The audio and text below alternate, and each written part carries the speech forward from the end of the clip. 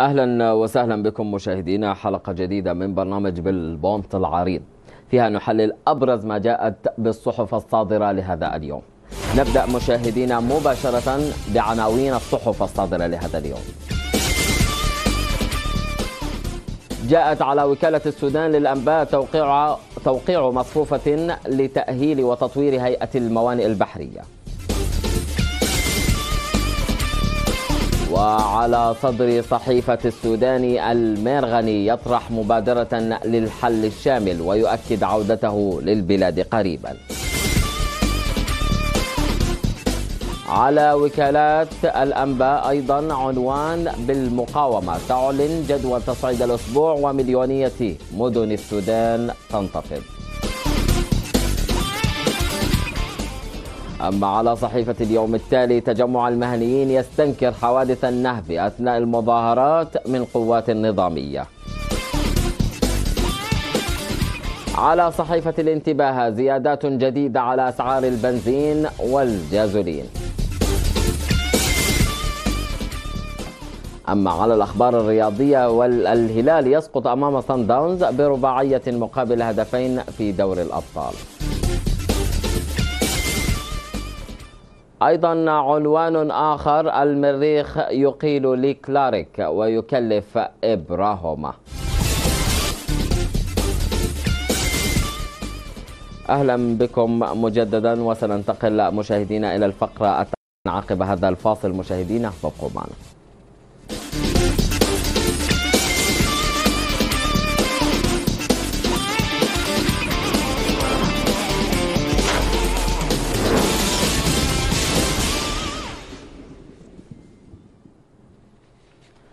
أهلا بكم مجددا وإلى الفقرة التحليلية وينضم إلي في الاستديو الصحفي والمحلل السياسي الأستاذ محمد عبد القادر أهلا وسهلا بك. مرحبا صيف مرحبا بك ومرحبا بمشاهدي قناة البلد. أهلا بك. آه كالعادة نبدأ آه أسئلتنا بما الذي يحدث في السودان الآن؟ ما الجديد في آه الشارع السوداني ويعني ما ما هي تطورات الأوضاع أيضا في السودان؟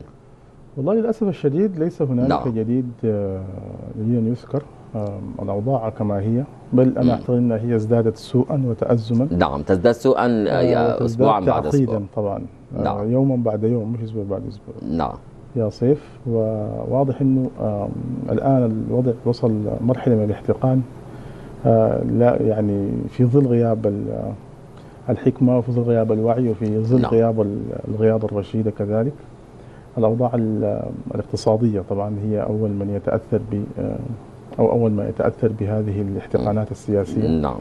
التفلتات الأمنية موجودة مستمره ومتواصلة. نعم.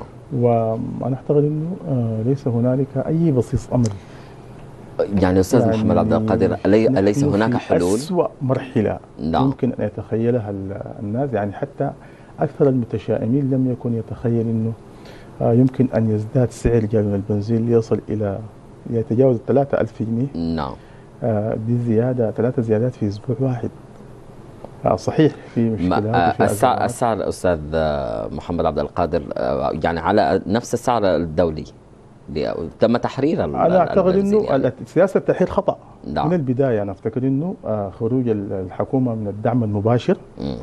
كان خطأ كبيرا هو يمكن أن يكون علاج في اقتصاديات أفضل من التي يعيشها الشعب السوداني. نعم. الشعب السوداني كل ما فيه الآن قابل للكسر، ليس هنالك يعني أي قدره الآن حتى بالنسبة للمستطيعين نعم. إنك أنت يعني تستعين ببنزين ب 10000 عشان تمشي الشغل وتراجع أو عشان تقضي به أي مهمة من من المهام. المزايا نعم. طبعا زادت المواصلات وزادت أسعار العمالة وزادت كل شيء يعني. م. زادت أسعار الوقود الترحيل زادت أسعار السلع. ينعكس على السلع آه بصورة كبيرة جدا. ده غير الزيادات الموجودة أساسا موجودة في الادبان نعم. وفي الزيوت. وأنا رأيت سبحان يعني ربنا يكون في عون الشعب السوداني لكن آمين. هذه الزيادات زيادات لا تطاق. نعم. ليس المقدور أي أحد الآن أن يعيش في نعم. السودان بتوالي الزيادات والارتفاع المستمر نعم. في الاسعار نعم. مفارقة كبيرة جدا يا صيف بين الدخول وبين وبين المصرف الدخل للأسف و... الشديد نعم نعم. الدخل دخل الفرد والمنصرفات والمنصرف نعم وهذه بشكل كبير جدا واضح جدا انها هي بدأت نعم. يعني جزء كبير جدا من التفعيلات الأمنية أنا أفتكر انها هي مرتبطة بالحالة نعم. ال- بالحالة الاقتصادية نعم ما السياسي محترم يعني ما نعم. في جديد كل المبادرات محلك سر المواجهة في الشوارع ما زالت مستمرة التدريس. مستمر المواكب مستمرة الدماء تراق. آه ليس هنالك يعني آه، أي بصيص أمل حتى الآن نعم. للأسف الشديد. دعنا أستاذ محمد عبد القادر نبدأ بعناوين أيضا الصحف الصادرة لهذا اليوم. آه، نبدأ بوكالة السودان للأنباء وتوقيع مصفوفة تأهيل وتطوير هيئة الموانئ البحرية حيث أكد نائب رئيس مجلس السيادة الانتقالية الفريق أول محمد حمدان دقلو أن زيارته لولاية البحر الأحمر والتي استغرقت خمسة أيام كانت ناجحة ومثمرة وقف خلالها على كل مواطن القصور بموانئ البحر الأحمر. وقال سيادته في تصريحات صحفية أمس بأمانة حكومة ولاية البحر الأحمر أنه تم وضع مصفوفة لمعالجة أوجه القصور والعقبات بالموانئ البحرية وأن المصفوفة سيضع لها سقفا زمني وتحديد المهام والمسؤوليات والجهات المنفذة. آه، أستاذ محمد عبد القادر زيارة رئيس آه، نائب رئيس مجلس السيادة الانتقالي الفريق أول محمد حمدان دقلو لولاية البحر الأحمر. هي زيارة. آه، يعني استغرقت خمسة أيام. آه، وصفت بأنها كانت آه، ناجحة و آه، مثمرة. يعني آه، ما رأيك في هذه الزيارة في هذا التوقيت آه، بالذات لرئيس آه، لنائب رئيس مجلس السيادة الانتقالي؟ أنا أعتقد أنها هي زيارة مهمة وجاءت في توقيت مهم يعني ويمكن لامست كثير جدا من الموضوعات وال- والقضايا. وزارت عدد من المواقع الحيوية والمواقع المهمة ومن بين الموانئ ال- الموانئ البحرية مم. وأن أنه هيئة الموانئ البحرية تعرضت لكثير جدا من الإنهاك يمكن جراء ال- التسييس جراء عدم وضوح الرؤية آه،. في علاقتها ما بين المركز وال- والولاية وضعف أداء هيئة الموانئ البحرية تأثرت كذلك بالوضع ال- الاقتصادي الموجود لأنه السياسات المالية والسياسات الاقتصادية أثرت تأثير كبير جدا على حركة الصادر وحركة الوارد وعلى الأسعار وأوجدت بيئة محتقنة وفيها قدر كبير جدا من من التشوه داخل نعم. هيئة الموانئ البحرية ولذلك أنا أفتكر أنه تطوير الموانئ آه، مهم نعم. جدا في هذا في هذا التوقيت لأنه نعم نحن أصلا أزمتنا يا صيف العبور أزمة آه، مواعين آه، تستوعب حركة الصادر وحركة ال- الوارد. نعم. ودي مسألة أنا أعتقد إنها هي مهمة جدا في في في هذا التوقيت طالما إنه في آه، اعتمادات آه، لها في متابعة لهذه المصفوفة. آه، ولكن مثل هذا الخبر نحن قرأناه كثيرا. للأسف الشديد ما بكون في آه، يعني نتائج عملية وملموسة آه، من نعم. هذه من هذه المصفوفات. نعم آه، ولكن دعني أقول إنه آه، بالسودان طبعا آه، منطقة نعم. افتكر إنها هي ثغر السودان والميناء والمنفذ البحري المهم جدا بالنسبة للسودان هذه الزيارة أنا افتكر إنها هي يعني منحت هذه المدينة حقها من من الاهتمام وكان فيها جوانب متعلقة بال بالمعامل الطبية متعلقة بال نعم بال- بالمياه كذلك نعم. عنده تصريحات كان برضو عن المياه في السودان وطبعا هي تصريحات مستهلكة يعني. آه أنا اتمنى انه يكون في إرادة حقيقية لحلحلة المشكلات ال- الموجودة آه في البحر الأحمر وإنه نعم. يكون في اهتمام مضاعف من قبل المركز ب نعم. هل آه، ممكن البحر الأحمر؟ نعم. هل ممكن ربط زيارة نائب رئيس مجلس السيادة الانتقال الفريق أول محمد حمدان دقلو لروسيا قبل أيام بزيارة أيضا ولاية البحر الأحمر الآن؟ أنا أعتقد إنه آه، واحدة من أهم الأجندة التي بحثتها يعني زيارة آه، الفريق آه، محمد حمدان دقل حميدتي في روسيا مساله الموانئ نعم وروسيا أنا أعتقد إنها هي بتعول كثيرا على وجودها في نعم. البحر الأحمر وبتعول كثير جدا على المنافذ البحرية الموجودة في تلك في تلك المنطقة. ويمكن كان في تفاهمات عديدة في هذا الجانب والبحر الأحمر ما زال هو منطقة تسابق مم. حقيقية بين ال بين ال بين روسيا من جهة وال- والغرب والولايات المتحدة الأمريكية نعم نعم. آه، من جهة أخرى. آه، والصين من جهة. ولذلك آه، هذه الزيارة ربما نعم. كان لديها ارتباط وثيق نعم. بهذه الزيارة. أو بنتائج زيارة دقلوا إلى نعم. روسيا في ظل الجدل الدائر طبعا نعم. حول أجندة هذه. هذه الزيارة فيما يلي مسألة التركيز الروسي.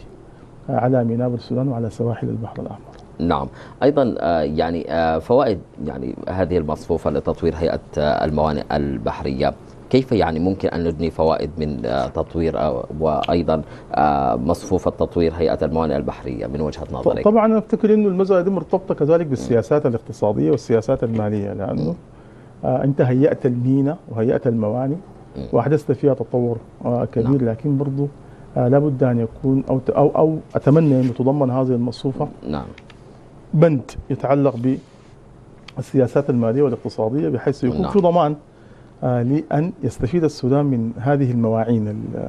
التي تم تهيئتها آه لإحداث نقلة آه مهمة في حركة الصادر نعم. أو الوارد ولكن من المهم جدا أنا أعتقد إنه من علامات الدول المتقدمة انه يكون عندها صادر ووارد ويكون عندها منافذ إحنا عندنا منفذ بحري مهم جدا وهذا المينا أنا أعتقد إنه بيسهم إسهام حقيقي في الميزانية العامة. ولكن أنا أفتكر إنه آه، في الفترة الأخيرة آه، يعني ضعف إسهام آه، هيئة المواني. ودي مساله مرتبطة بالأوضاع داخل هيئة المواني.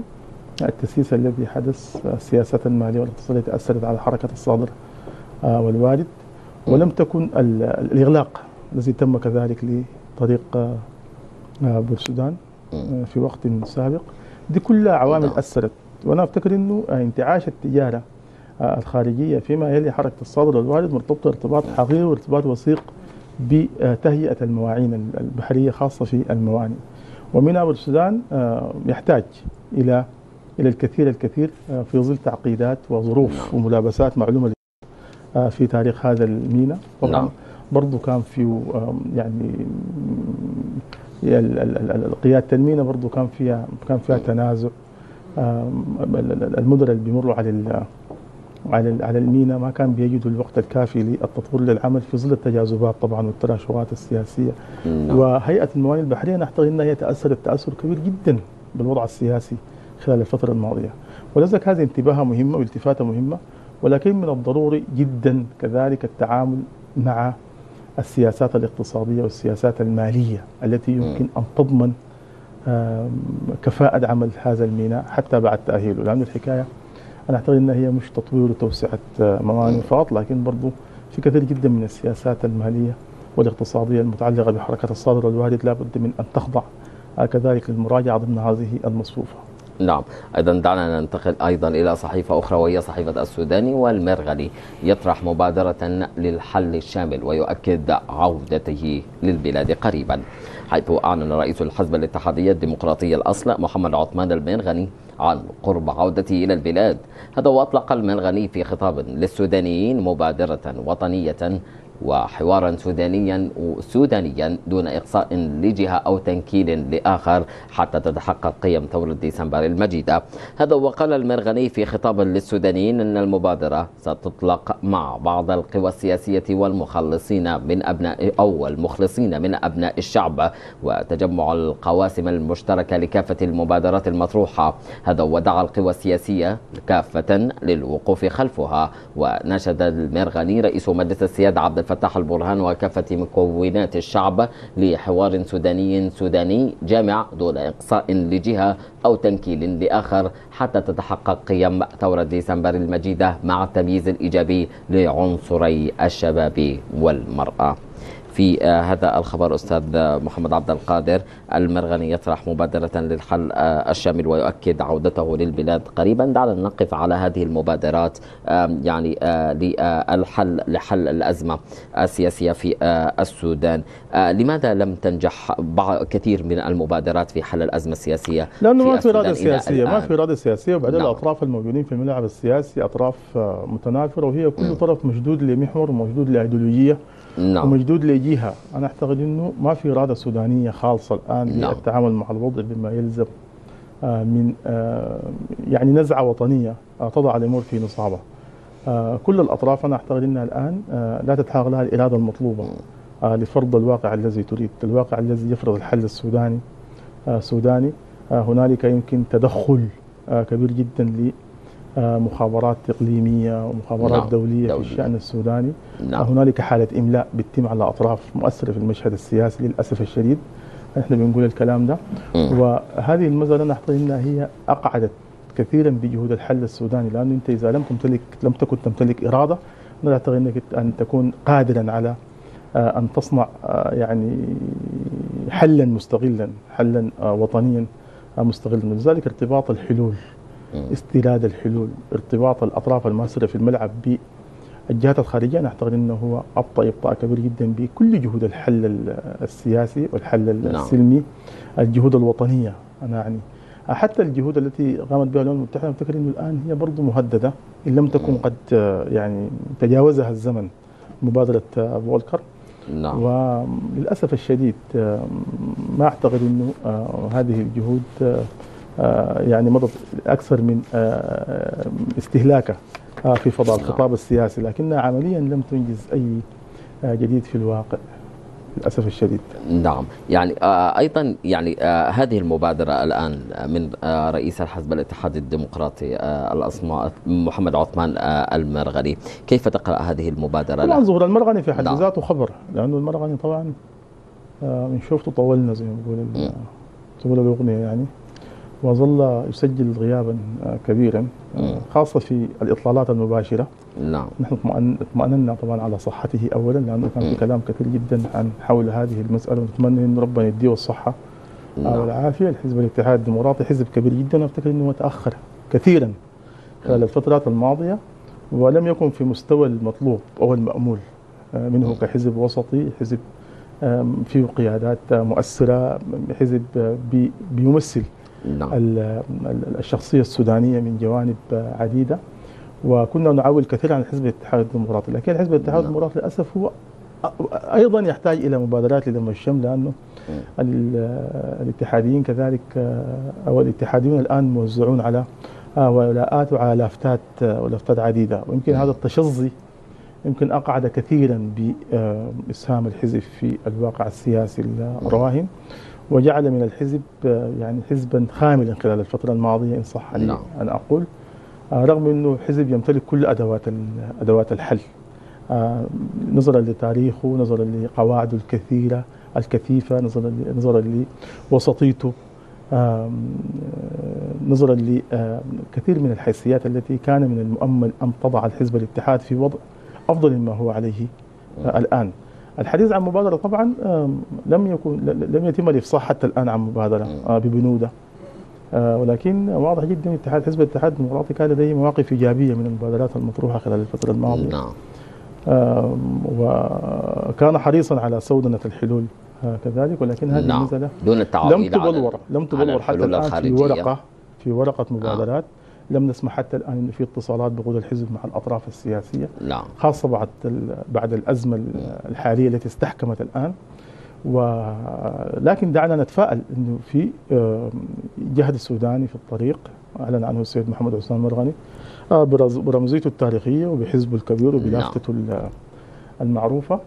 وفي ظل هذا التشظي أنا افتكر ان السودان بيحتاج إلى كل الجهود المخلصة كل الجهود نعم. المخلصة خاصة لما تكون من شخصيات مؤثرة آه، زي السيد محمد عثمان المرغني آه، ولكن دعني أقول يا صيف أني لست متفائلا بأن يعني نعم. تفضل هذه المبادرات المنفردة نعم. إلى حلول لابد من تجميع كل المبادرات في تشكيل جبهة وطنية عريضة تتراضى لأنه في النهاية الإجماع لا يتحقق نعم. يعني لن يتحقق الإجماع في ظل الاستقطاب والاستقطاب الحاد وأنا أفتكر أنه ليس مطلوبا أن أن يكون هنالك إجماع على ما ينبغي أن تكون عليه الاوضاع في السودان المهم يكون في توافق نعم. من قبل جبهة وطنية عريضة تستطيع أن تحدد الخطوط العريضة آه، لحلول أو لمبادرة آه، يمكن أن يعني يمضي خلفها السودانيون والسودانيون الآن يحتاجون آه، بالفعل لمبادرة توحد جهودهم في سبيل سعيهم الحديث نعم. للحل السياسي الحل السياسي الشامل الحل الوفاقي لوقف الاحتقانات لوقف الدماء للتوافق بين المدنيين والعسكر لاستدراك ما يمكن أو لإدراك ما يمكن إدراكه الآن. الوطن يتشظى والوطن يضيع ولكن لا نعم. أحد يمكن يلقي بالا للخطوره نعم. وخطوره السيناريوهات التي سيواجهها السودان مستقبلا. أو في الوقت في الوقت الغريب أنا لا أعتقد إنه لم يعد هنالك وقت كافي. نعم. للتلاعب بالألفاظ وإطلاق إطلاق نعم. الوعود والإشارات م. السياسية السابقه المطلوب فعل آه، حقيقي يعني هذا الخبر كان ينبغي أن نعم. يكون مشفوعا ماذا فعل السيد محمد عثمان المرغني حتى آه، تنجح هذه المبادرة وما هي الخطوط العريضة لهذه المبادرة وما هي تفاصيل هذه المبادرة عموما ننتظر ولكن نعتقد أن ليس هنالك وقت نعم يعني في اعتقادك ما هي فرص نجاح هذه المبادرة؟ الحزب الاتحادي الديمقراطي آه، حزب مؤثر. والسيد محمد عثمان المرغني زعيم كبير ليس في ذلك شك. وده حزب عنده نعم. قواعده ولكن افتكر انه في ظل التقاطعات السياسية الحاصلة الآن الجهود الجهود الحزبية المنفردة ما أعتقد إنها هي ممكن تحدث اختراق. يعني لابد انه يكون في إجماع على حل سياسي سوداني سلمي. نعم. هذا الحل يتوافر عبر تشكيل جبهة وطنية آه، عريضة. آه، لأنه دائما الحلول الحلول الحزبية يعني حلول الحزب الواحد دائما ما تصطدم بالاجندات تصطدم بالتقاطعات تصطدم بالانتماءات تصطدم بالغيرة السياسية الموجودة على الساحة. نعم. ولذلك أنا أفتكر إنه آه لابد من آه خلق حالة من من التوافق بين نعم. مكونات القوى السياسية الموجودة. آه الحزب الاتحادي يلزم كذلك انه ينظم صفوفه من الداخل إن كان يريد ان ان ان ان يحدث نتائج آه، نعم. تحقق الاختراق المطلوب. نعم. أيضا آه، أستاذ محمد عبد القادر سننتقل أيضا إلى عنوان آخر على وكالات الأنباء والمقاومه تعلن جدول تصعيد الأسبوع ومليونية مدن السودان تنتفض. حيث أكدت تنسيقيات لجان مقاومة الخرطوم رفضها لسياسات الإفقار الاقتصادي التي تنتهجها السلطات والتي انعكست في الارتفاع الجنوني لأسعار السلع والخدمات الأساسية ووضعت غالبية الشعب السوداني تحت وخط الفقر وقطعت اللجان باستمرار الثورة والمقاومة حتى تستكمل ما بدأته في ديسمبر المجيدة سعيا لوطن يوفر الحياة الكريمة لبناته وأبنائه مجددة التزامها بالسلمية. هذا وأضافت في بيانها سلاحنا الأكثر قوة في وجه آلة القمع والاغتصاب والقتل. وأعلنت التنسيقيات جدول عمل الأسبوع أمس السبت وقفات احتجاجية ومخاطبات في الأسواق عن الإضراب والعصيان الأحد 20 مارس. مواكب دعائية داخل الأحياء الاثنين الواحد والعشرين بمارس ومليونية لا مركزية في المدن لاسترداد كرامة المعلمين الثلاثاء الثاني والعشرين من مارس وتتريس كامل. خلاص ضاقت من الساعة السادسة صباحا إلى الخامسة مساء الأربعاء الثالثة والعشرين من مارس ومواكب دعائية واستمرار التتريس من ست صباحا إلى الخامسة مساء يوم الخميس الرابع والعشرين من مارس ومليونية الرابع والعشرين مدن السودان تنتفض. إذا مشاهدينا أيضا سننتقل إلى فاصل ثم نعود ونواصل حديثنا.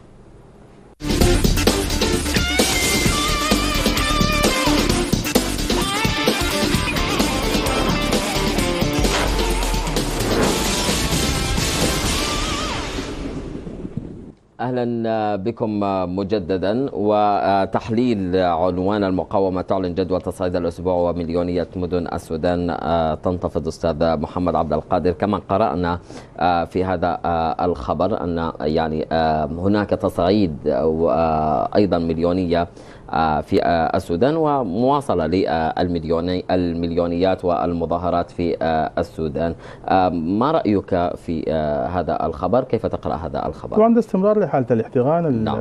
السياسي وحالة انسداد الأفق. نعم. تعبير جلي جدا عن أنه الأفق ما زال مسدا وأنه هو تتسع يوم بعد يوم بعد بين الحاكمين وبقية المكونات المدنية. كلهم كانوا شركاء يعني قبل ستة أشهر. في في الحكم. ولكن طبعا يعني لفت انتباهي إنه هنالك ذكرى وحديث للأوضاع المعيشية. نعم الاقتصادية. الأوضاع الاقتصادية. نعم. اعتقد مؤشر جيد يعني إنه يكون في انتباه من قبل المتظاهرين ومن قبل الذين يقودون المواكب إلى أهمية أن يكون هناك ضغط على الحكومة لتخفيف الأعباء المعيشية هذه نعم. إحنا كنا فاقدينها تماما نعم يعني ستتغير في المظاهرات لهجة آه المظاهرات يعني ستتغير ممكن يعني يعني أنا أفتكر أنه إذا كان نعم. يعني جزء من هذه المواكب خصص للكهرباء مثلا م.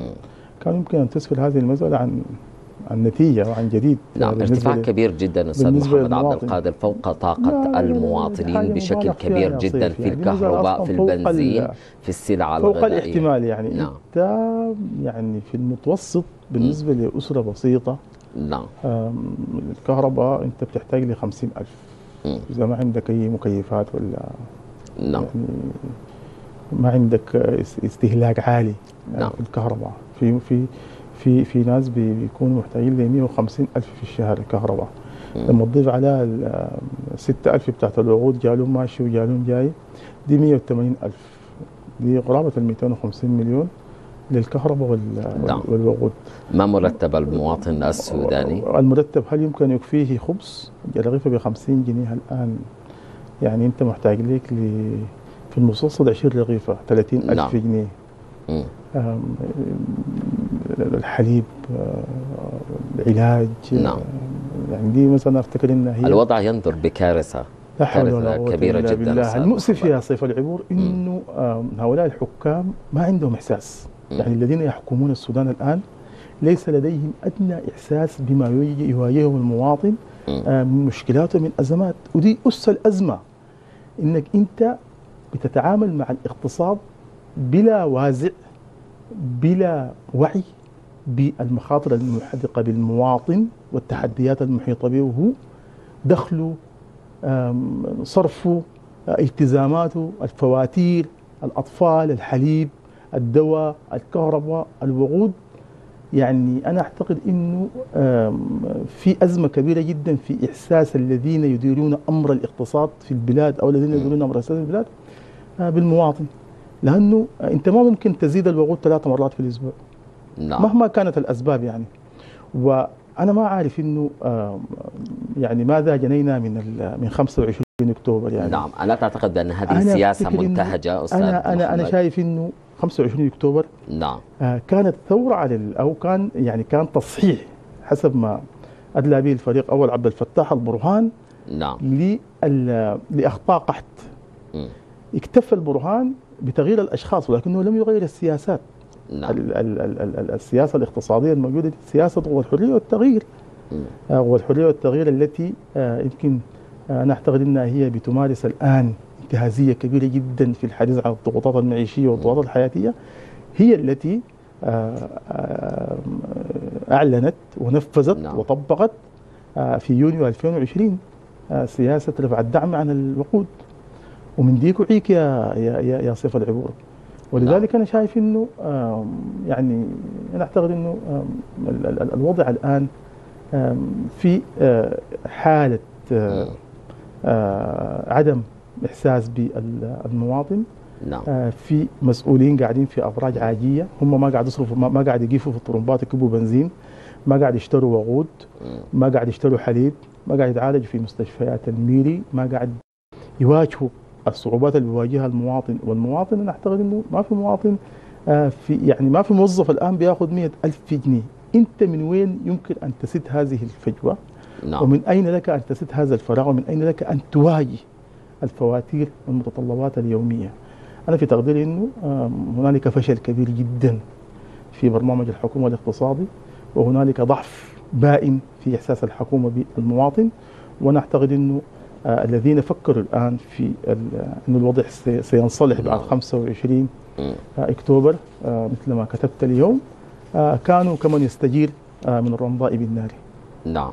أيضا آه أستاذ محمد عبد القادر دعنا أيضا ننتقل إلى صحيفة أخرى وهي صحيفة اليوم التالي. وتجمع المهنيين يستنكر حوادث النهب أثناء المظاهرات من قوات نظامية حيث قال تجمع المهنيين أن الانتهاكات التي تمارسها أجهزة الأمن في المظاهرات مهددة للأمن والسلم الاجتماعي. أعلن أنه رصد حالات نهب وتعدل على ممتلكات المواطنين بواسطة قوات أمنية وقال بيان أصدره للتجمع أنه تابع, تابع القمع المفرط الذي تعرضت له مواكب مليونية السنة 17 من مارس في مدن السودان والاعتداءات المتفرقة التي قامت بها السلطات في مدن نيالا والدمازين وعبر ومدني هذا وكشف عن إصابة عشرات المتظاهرين السلميين بالرصاص والقنابل الصوتية والمقذوفات المتناثرة وعبوات الغاز المسيلة للدموع في شارع القصر. هذا وأضاف رصدنا حالات النهب والسلب والتعدي على ممتلكات المواطنين من قبل النظاميين في أكثر من منطقة بالخرطوم أستاذ محمد عبد القادر يعني آه، كان هذا بيان تجمع المهنيين آه، السودانيين آه، تحدثوا عن أعمال النهب والسلب الذي تعرضت لها المظاهرات من قوات نظامية ما رأيك في هذا الخبر أستاذ والله طبعا يعني أيضا. في اتهام للقوات نعم. الأمنية انها هي مارست النهب نعم. في المظاهرات نعم وطبعا أنت لا يمكن أن تطلق القول يعني هكذا يعني. دون دليل يعني؟ مش دون يعني يعني يعني ما تضع كل القوات الأمنية في سلة واحدة. نعم. المفروض يكون في تحديد في مجموعة بعض. مشتركة من القوات. المفروض نعم. يكون في تبعيض. أنا ما أفتكر إنه نعم. في استراتيجية في نعم. استراتيجية أمنية لنهب المواطنين. وإلا دي ما تكون قوات أمن. دي ما بتكون قوات أمن. دي بتكون قوات دي بتكون تزعه طويلة. نعم. آه بتكون آه نيجروس. كده. لكن قوات الأمن ما كلها بتنهب. فينبغي إنه يكون في تحديد للجهات التي قامت بمثل هذه آه، الأعمال. هناك أيضا فيديوهات على وسائل التواصل أي طبعا نحن ما لا نستطيع أن نبرئ آه، نعم. نبرئ الجهات الأمنية. وكذلك لا نستطيع أن ندينها جملة من هي مارست أعمال ناب. نعم. آه وكأنما هنالك آه سيناريو أو هنالك آه يمكن استراتيجية لنهب المتظاهرين. ولكن من من المؤكد إنه نحن تابعنا فيديوهات على وسائل التواصل الاجتماعي. آه، في حالات آه، نهب آه، حدثت. ينبغي إنه هذه الجهات تتولى أو الجهات المختصة. وأنا بعني الشرطة في نعم. هذا النهاية تتولى مسألة التحقيق عن هذه مثل هذه الممارسات. وإنه تجمع المهنيين لابد أن يرصد بشكل دقيق هذه الانتهاكات والجهات نعم. التي قامت بها طالما أن هنالك رصد. وأن يتقدم للجهات المعنية آه، بالأدلة والبراهين التي تعين على محاسبة وعلى آه، يمكن إحكام السيطرة على المتفلتين والمتورطين نعم. القوات الأمنية. وده تطور خطير جدا طبعا إذا إذا إذا كان رجل الأمن أو إذا طلع رجل الأمن بمهمة النهب. أو يعني صار نهابا فأنا أعتقد إنه دي, دي, دي, دي, دي بداية انفراط العقد العقد الأمني. لذلك أنا أعتقد إنه يعني حتى لا تكون هذه الاتهامات من باب الابتزاز بين المعارضة وبين القوات الحكومية ينبغي على القوات الحكومية على الجهات نعم. الحكومية أن هي تتصدى لهذه المهمة مهمة التحقيق في الجهات التي تقوم بنهب المتظاهرين نعم. وأن تحكم السيطرة على حركة وانتشار قواتها الأمنية نعم. وأن تحدد الجناة وتقدمه للمحاكمات العادلة ليس هنالك أحد آه، فوق فوق فوق نعم. نعم. نعم. هل وصلت البلاد إلى الانفلات الامني الكامل؟ كما وصفت وسائل التواصل الاجتماعي بالأمس يعني آه، هناك آه، العديد من المشاكل التي تحصل في أحياء بعض هنالك انفلات هنالك انفلات أمني ليس هنالك شك في هذه الحقيقة. نعم. هنالك ممارسات كثيرة جدا بتحدث في الأحياء هنالك حوادث حدثت اغتصاب هنا بين قتل وأيضا. موبايلات ونهب نعم. ماروه ونهب حتى هنالك حديث عن إنه أشخاص نهبوا مشيعين آه، لجنازة. نعم. وتكررت هذه هذه هذه الظواهر خلال الفترة الماضية. وهذه المسألة أنا أفتكر إنها هي يعني ما تخلينا نحن نجهز أو يعني نتعامل آه، بطريقة فيها فيها تشفي من الجهات الأمنية. بغض النظر نعم. خلينا نحن نستحس هذه الجهات الأمنية وأنا بتكلم عن الشرطة السودانية آه، تحديدا المعنية بحماية المدنيين والمعنية بالأمن داخل المدن أنها هي توظف كل إمكانيات المتاحة وإذا كان هنالك قصور آه، توضحه وأن تكون هنالك بيانات. لأن في حالات كثيرة جدا الآن في حديث كثيف في وسائل التواصل الاجتماعي عن تفلتات أمنية آه، يعني ما بين مصدق وبين مكذب ما في روايات حقيقية. ما في روايات رسمية وروايات حقيقية. نعم. فأنا أفتكر الشرطة معنية بأنها هي تميط اللثام عن كثير جدا من الأخبار التي تحدثت عن آه، نعم. تفلتات نعم. أمنية في عدد من الأطراف وفي قلب حتى في قلب الخرطوم الآن هنالك آه، تنشط عصابات تزعة طويلة في السلب وال آه، نعم. والنهب وما إلى ذلك دي مسألة نعتقد أنها هي مسألة تضامنية أكثر من محاولة التشفي من هذا الطرف أو ذاك الأمن ده مسؤولية الجميع يعني إحنا آه دي النظرية النظريه الموجودة الآن إنه آه كل شخص هو مسؤول عن الأمن مم. والأمن ليس مهمة القوات القوات النظامية فحسب ولكن إحنا مهمتنا برضه إنه نبصر هذه الجهات الأمنية إذا في قصور ننبه إذا حدثت تفلتات منها من أطراف معنية بحماية وحفظ الأمن وأن تكون هنالك حالة رصد من قبل الجهات الشرطية مم. لما يمكن أن آه، يعني تتلقفه وسائل التواصل الاجتماعي وتنشره على مدى واسع أنا أفتكر إنه الآن آه، في آه، الأمن النفسي منعدم نعم. لأنه سيطرت على الناس آه، حالة من الخوف وحالة من الفزع جراء تواتر الأنباء عن حالات السلب والنهب وما إلى ذلك نعم ولذلك أنت حتى تطمئن المواطن أنت مطلوب منك جهود آه، كثيرة جدا آه، نعم. كشرطة آه، نتمنى إن هي تنجح في أن آه، تحقق معاده الأمن في البلاد يعني ولايه الخرطوم تحديدا. نعم نتمنى ذلك. أيضا آه، دعنا ننتقل أيضا لصحيفة أخرى صحيفة الانتباه. كتبت بالبونت العريض زيادات جديدة على أسعار البنزين والجازولين. طبق أو طبقت محطات الوقود في الخرطوم زيادات جديدة على سعر البنزين والجازولين. بلغت سعر لتر البنزين 672 جنيه مقارنة ب 572 جنيه ليصل سعر الجازولين أو الجالون إلى 3024 جنيه. بينما بلغ سعر لتر الجازولين إلى 642 جنيه مقارنة ب 505 ليصل سعر الجالون إلى 2889 جنيه. آه، زيادات كبيرة جدا أستاذ محمد عبد القادر على أسعار البنزين والجازولين. ستنعكس بشكل زيادات كبير جدا خطيرة. على السلع والخدمات. آه، وزيادات متوالية وهي والخدمات، نعم. انعكست بالتأكيد على السلع وأشعلت الجحيم مجددا في حياة المواطن المسكين المغلوب على أمره. دي ثلاثة زيادات في أسبوع. نعم. في أسبوع واحد يا سيف العبور. ونعتقد إنه يعني انسحاب الدولة بالكامل عن دعم الجازولين تحديدا نعتقد إنه ده بيحدث خلل كبير جدا في حياة ومعايش الناس وأحدث آه، بالضرورة آه، هذا الخلل. والاسعار العالية الآن آه، بالنسبة للبنزين وبالنسبة للجازولين واضح إنها هي أثرت تأثير كبير جدا في حياة الناس في حركة الناس في تنقل الناس في بضائع البضائع التي يشتريها المواطنون و آه، في كل في كل زيادة كان بيتم إعلان عن زيادات جديده في الأسعار. وأنا آه، أعتقد إنه ربما نصل مرحلة يتوقف فيها البيع تماما لأنه في الزيادة الأولى مثلا قفزت أسعار الألبان والزيوت وإلى 33% ولم تتحرك كثيرا بعد الزيادة الثانية، الآن نحن في الزيادة الثالثة. وهذه الزيادات للأسف الشديد بتتم خلال أسبوع.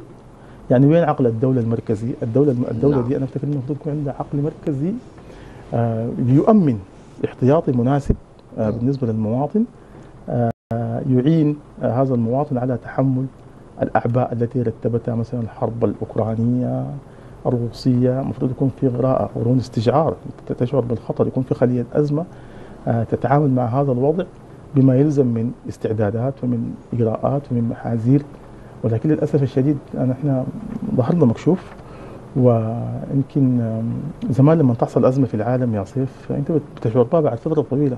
نعم. تكون يعني الآن بقت تخش العظم طوال الأزمة ما في لحم. إحنا بالنسبة لنا الآن عظمنا مكشوف. آه، ولذلك نتأثر كثيرا بما يدور حولنا آه، في نعم. العالم. والمسألة دي أنا أعتقد إنها هي الحكومة مطالبة بإنها هي تعيد النظر في آه، رفع الدعم الكلي. عن عن الوقود. يعني نعم. الحكومة دي لما المواطن أقول السوداني لكن- لا يستطيع لكن يصبر أكثر من سبعة. ذلك. أيوه 27 جنيه الجالون نعم. كان الحكومة كان بتدعم. كويس؟ آه، نقول حكومة الكيزان يعني. نعم. كويس؟ كان بتدعم. نعم كانت وكان ب تدعم ذلك. 27 جنيه. نعم. اليوم ب 3000 نعم. ب 3000 وأنا أعتقد إنه إذا تم تمت مراجعة للسياسات المتعلقة بوزارة الدعم رفع الدعم على الوقود بالذات أنا أعتقد أن دي مثلا ممكن تكون في مصلحة الحكومة لأنه ما لم يحدث استقرار سياسي أو اقتصاد ما بيحدث استقرار سياسي. نعم. وكذلك أنا أفتكر أنه الارتفاع الكبير كان الدكتور جبريل إبراهيم تحدث عن أنه المالية ستخصص جازولين للزراعة للترحيل للحركة والنقل وما إلى ذلك حينما أعلن الزيادة الأولى. هذا الأمر لم يحدث وتوالت بعد ذلك أربع زيادات. فحتى بالنسبة للجازولين أنا أفتكر أنه الزيادات دي هي أكبر مهدد أو خطر للحكو على الحكومة لأنه نعم الآن حتى الأطراف التي تحرك المواكب. أصبحت تركز على ال على ال على ال على, على, ال على الأوضاع الاقتصادية. وين- وهنا و- وهنا قبل طبعا لفت نظري شعار ضاقت يعني خلاص ضاقت التي أعلنتها لجان المقاومة آه، نعم. كشعار لأحد ال- المواكب. هي ما ضاقت الليلة. هي ما ضاقت اليوم يعني. هي خلاص أنا أفتكر إنه نعم. بلغت ال- روح الحلقوم يعني الآن ولم يعد يجوز على المواطن السوداني يتحمل أكثر مما نعم. مما يحدث الآن نعم لن يصبر المواطن. السوداني نقول لن يستطيع أن يصبر المواطن الحكومة عليها السوداني تتدبر أمرها وتحاول أن تعالج هذا الانفلات في أسعار الوقود وفي أسعار الخبز وفي أسعار الكهرباء وإلا فإن النتيجة آه، ستكون نعم. آه، كارثية على الدولة وعلى الحكومة وعلى المجتمع. نعم يعني سيدنا أيوب صبر على مرضه ونادى ربه إني مسني الضر. كان 20 عاما فقط. نعم. الآن المواطن السوداني يعني ث- 32 سنة صحيح. يصبر الآن صحيح. ولا يستطيع لا- لن لكن ال- يستطيع ال- ال- المواطن ال- يعني الأزمة يعني هي زمان آه، زي ما بيقولوا الشباب يا سيف كان بتتجازف يعني. لكن صعب الآن. يعني صعب إنك أنت آه، تعتمد لك 6000 يوميا. للوقود. وتعتمد لك 50000 نعم شهريا للكهرباء وتعتمد لك 30000 شهريا. لل- للخبز مم.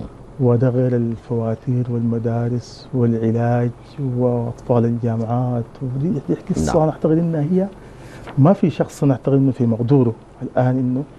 آه، يتحمل هذا العبء الاقتصادي، أنت عارف نعم. يا سيف الملاحظة الآن إنه اللي بيقتربوا بيهاجروا من البلد الآن هم المقتدرين، نعم. هم المقتدرين يعني هم أصحاب الأموال وأصحاب رؤوس الأموال وهم الطبقات التي كانت آه، تعيش في طرف يعني أنت إذا مشيت الآن ال- ال- ال- ال- ال- آه، مدن مثلا أو مناطق زي العمارات والرياض ما في ناس. ما في ناس. الناس كلها الآن آه، بدأت في- تهاجر ال- القاهرة تستقبل ملايين الأسر السودانية تركيا تستقبل ملايين الأسر الس- السودانية و و ولسه لسه. فلذلك أنا أعتقد إنه آه، ديل ناس عندهم آه، يعني أصول باعوها وسيلوها وطلعوا وتركوا يعني من لا, من, من, من- من لا يملك قوت يومه نعم. الآن هو موجود أو يا يصطلي. بهذه بهذه نعم. بهذا الجحيم هذا نعم. الجحيم الذي ينبغي أن تلتفت إليه نعم الحكومة نعم. الحكومة ما حاسة للناس يا سيف للأسف نعم. الشديد. آه، هذه اذا كانت هذه الأخبار السياسية. سننتقل أيضا للهزائم. أستاذ محمد عبد القادر. برضه هزيمة. على, على الأخبار الرياضية. والهلال يسقط أمام صن داونز برباعية مقابل هدفين في دوري الأبطال. خسر الهلال بنتيجة عارضه أمام ضيف الجنوب أفريقي صن داونز بهدفين لأربعة أهداف عصر أمس السبت في الجولة الخامسة وقبل الأخيرة. بدور المجموعات ببطولة أبطال أفريقيا. سجل لصن داونز بيتر وموكوينا بجانب ثنائية مورينا وأحرز وأحرز ثنائية الهلال كل من ياسر مزمل وعثمان مختار. ورفع صن داونز رصيده إلى 13 نقطة وضمن الصدارة في المجموعة الأولى بينما تجمد رصيد الهلال عند أربع نقاط. يعني خسارة كبيرة جدا للهلال السوداني الأستاذ محمد عبد القادر بجانب ما يحدث في آه، البلاد لا شيء يدعو للسعادة أستاذ والله يا أخي محمد لم. نحن لم نغادر مربع الهزائم يعني مكتوب نعم. علينا إحنا من هزيمة إلى إلى أخرى سياسيا واقتصاديا نعم. امنيا ورياضيا مم.